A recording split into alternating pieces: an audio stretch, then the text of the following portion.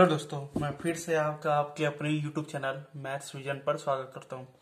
दोस्तों, मैं बहुत दिनों से सोच रहा था, मैं वीडियोस तो बनाता हूँ और उसमें आपको कंटेंट प्रोवाइड करता हूँ बट मैंने सोचा कि जब मैं कंटेंट प्रोवाइड करता हूँ तो आप प्रैक्टिस कैसे करते होंगे? मतलब उसके लिए आप बुक कौन सा चूज़ करते होंगे? तो मैं आज कुछ बुक्स बताऊँगा, जिसका आप इस्तेमाल अपने कम्पिटिटिव एग्ज़ाम के लिए करते हैं तो वो बहुत ही ज़्यादा आपको हेल्पफुल देगा, ठीक है? तो मैं कुछ बुक्स के नाम बताऊँगा, उनसे आप ज़रूर प्रैक्टिस करें, आपको बहुत ज़्यादा बेनिफिट मिलेगा, ठीक है?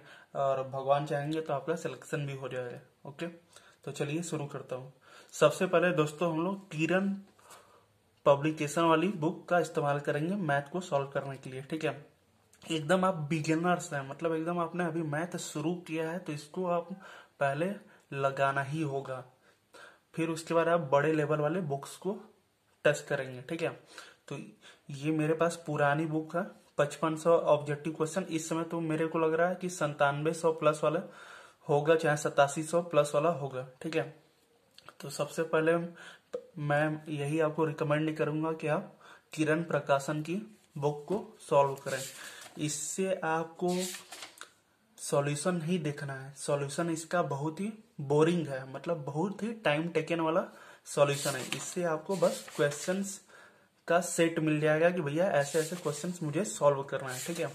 यहाँ से बस आपको क्वेश्चन देखना है और सॉल्व करना है। सॉल्यूशन आपके टीचर का होगा, ना कि इस बुक का होगा, क्योंकि इसका सॉल्यूशन बहुत ही बेकार है। बेकार कहने का मतलब कि एक बच्चा अगर इसे पढ़ना चाहता है तो उसके लिए सही है, लेकिन कम्पिटिटिव एग्ज़ाम में आपको जितना जल्दी हो सके वो तरीका आपको आना चाहिए। तो ये, वो तरीका इसमें प्रोवाइड नहीं किया गया, ठीक है? तो इसमें बता देता हूँ मैं कि कौन कौन से चैप्टर्स दिए गए हैं, ठीक है? इसमें आपको मिल जाएगा number system LCM SCF simplification power indices and search average ratio and proportion percentage profit and loss discount simple interest compound interest time and work pipe and cistern time and distance boat and stream sequence and series, algebra, trigonometry, geometry, mensuration, statistics and data interpretation and miscellaneous ठीक है दोस्तों? पहले आपको एकदम beginners हैं तो सबसे पहले आपको इसी को लगाना है। इससे आपको सॉल्यूशन नहीं रखना है, इससे आपको बस क्वेश्चन रखना है, ठीक है? और ये मेरे पास ये थोड़ी पुरानी बुक है, ठीक है? आपको पता है कि नई बुक ले लें, चाहे आपको पुरानी ही बुक हो तो आप पुरानी ही बुक से करेंगे। नई बुक नहीं है तो कोई दिक्कत नहीं है। लेकिन किरण वाले पब्लिकेशन से आपको पहले सॉल्व करना है, ठीक है? दूसरी बुक मैं जो रिकमेंड करता हूँ, वो है हमारे राकेश यादव सर की संतानवे सौ प्लस वाली बुक ठीक है? इसको मैं अभी खुद लगा रहा हूँ, ठीक है? और किरण वाले को मैं लगा चुका हूँ, ठीक है? तो इस को आपको पूरा डिटेल में इससे पढ़ना है, ठीक है? दोस्तों, कहीं ना कहीं हर बुक में थोड़ा एरर मिला गया। किरण में थोड़ा ज़्यादा एरर मिला गया, ठीक है?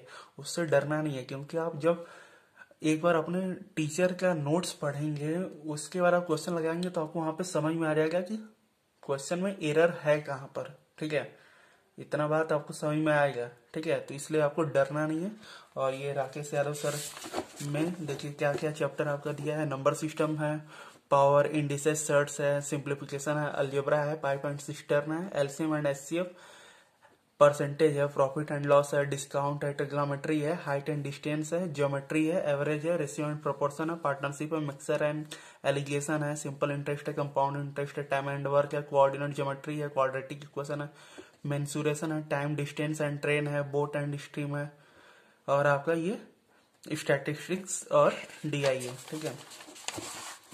तो दोस्तों, पहले किरण को सॉल्व करेंगे, फिर इसको सॉल्व करेंगे। और इसमें भी मैं बता देता हूँ कि आप इसमें आप ट्रिग्नोमेट्री को और ज्योमेट्री को इससे ना सॉल्व कीजिएगा उसके लिए आपके पास अभिनय शर्मा की बुक होगी तो अच्छी बात है, नहीं होगा तो किसी दोस्त का लेके फ़ोटो स्टेट करवा लीजिएगा ठीक है ट्रिग्नोमेट्री और ज्योमेट्री सबसे बेस्ट अभिनय शर्मा का है, ठीक है? बाकी और सब चीज़ का आपका अभिनय शर्मा इनका बराबर है, ठीक है? अभिनय शर्मा सर और राकेश यादव सर के बाकी कंटेंट आपको बराबर लगभग मिलेगा। लेकिन जो ट्रिग्नोमेट्री और ज्योमेट्री का कॉन्सेप्ट और अल्जेब्रा तीन चीज़। ट्रिग्नोमेट्री ज्योमेट्री और अल्जेब्रा ये तीन चीज़ आपको अभिनय शर्मा वाले बुक से ही करना है, ठीक है? क्योंकि उसमें ज़बरदस्त कॉन्सेप्ट है ज़बरदस्त क्वेश्चन है, ठीक है? अगर आपके पास बुक नहीं है तो आप किसी अपने दोस्त का बुक लेके फोटोशेट करवा लीजिएगा, ठीक है? अब फिर भी नहीं है तो अभिनय सर का कहीं से अलजेबरा, ट्रिग्नोमेट्री और जियोमेट्री का आपको पीडीएफ मिल जाता है। उनके क्वेश्चंस के सेट का पीडीएफ मिल जाता है तो वो आप डाउनलोड कर लीजिएगा, ठीक है?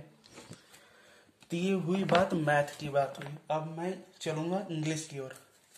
सबसे पहले आप एकदम बिगिनर्स हैं, ठीक है?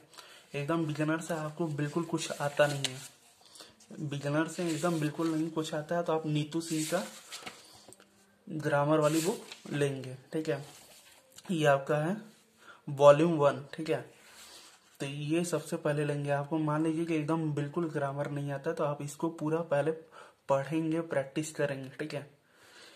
तो इसमें देखिए क्या क्या दिया आपके। वर्ब दिया है, टेंस दिया है, पैसिव वाइज दिया है, नरेशन दिया है, क्वेश्चन टैग दिया है, सब्जेक्ट वर्ब एग्रीमेंट दिया है, कंडीशनल सेंटेंस दिया है, वर्ब एडवांस लेवल का दिया है, noun, pronoun, adjective conjunction article preposition adverb words often confused and misused vocabularies synonyms antonyms one word substitution one word substitution practice set idioms and phrases पूरा आपको दिया है ठीक है तो एकदम आप बिगिनर्स हैं तो देखिए यहाँ पे हिंदी वर्जन भी मिलेगा इंग्लिश वर्जन भी मिलेगा तो आप इंग्लिश मीडियम से बिलोंग करते हैं तो आप इंग्लिश वर्जन लीजिएगा अगर आप हिंदी मीडियम से बिलोंग करते हैं तो आप हिंदी मीडियम वाला ले लेंगे, हिंदी वाला ले लेंगे, ठीक है?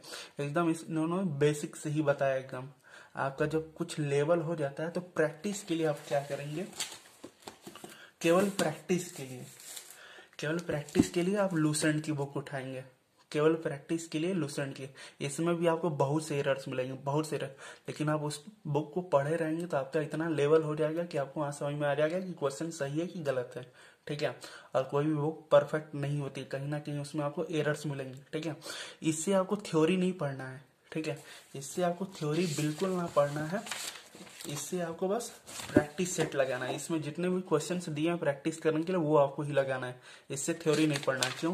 क्योंकि मैं आपको थोड़ा यहाँ पर बताना चाहता हूँ। जैसे मैं नाउन वाला चैप्टर खोल के देखता हूँ। तो नाउन वाला फिफ्टी वन पेज पे है तो मैं इसको दिखा रहा हूँ, कहाँ पर कैसा गलती है।